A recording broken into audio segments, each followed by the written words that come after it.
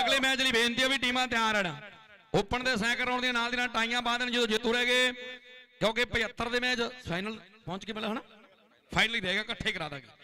Time ਥੋੜਾ ਜਿਹਾ scotch ਰੱਖਣਾ ਵੀ 6 ਤੋਂ ਪਹਿਲਾਂ, ਸਵਾ 6 ਤੋਂ ਪਹਿਲਾਂ ਪਹਿਲਾਂ ਨਿਬੇੜ ਦੇਣਾ। ਇਧਰਲੇ ਪਾਸੇ ਅਵਤਾਰ ਆ। ਹਾਉ ਤਾਰ ਚੱਠੇ ਕਿਵੇਂ